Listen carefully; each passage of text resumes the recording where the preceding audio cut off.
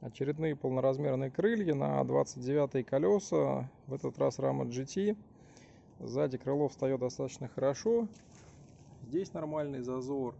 Вот эту штучку обязательно надо подгибать вниз, чтобы она не съезжала. И начинаешь винт закручивать, она начинает съезжать, поэтому лучше ее сначала загнуть, только после этого закручивать. Э, задние усики достаточно длинные, их хватает, и даже, видите, по изгибу они заходят где-то только до середины. Если плотнее убирать, вот в этом месте начинает затевать покрышка о крыло, потому что зазор здесь очень-очень маленький. И вот эта штучка, она движется вправо-влево, если ее чуть-чуть в бок повернуть, то тоже может задевать о протектор. Смотрится заднее колесо таким вот образом.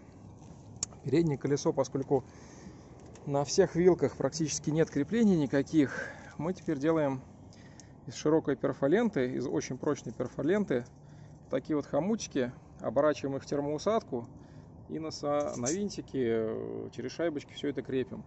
А передняя дужка подрезается примерно сантиметров на 6 на 7, но это надо смотреть по каждому колесу, чтобы все было очень аккуратненько и вот красивая дуга получалась.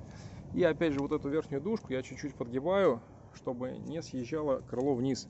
Потому что отверстие длинное, прямоугольное, от вибрации может потихонечку начать сползать. Лучше чуть-чуть ее подогнуть молоточком или плоскогубцами.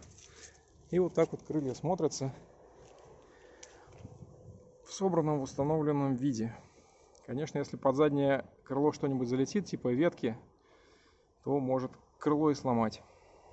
Очень все плотно, потому что колеса большие. А, резина примерно 2.0, наверное. И протектор маленький. Если будет протектор еще выше, то вообще крыло не встанет на эту раму.